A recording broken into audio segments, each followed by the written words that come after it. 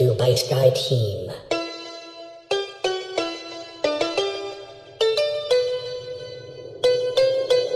Pierre Keegan, Fitzchild Mancone.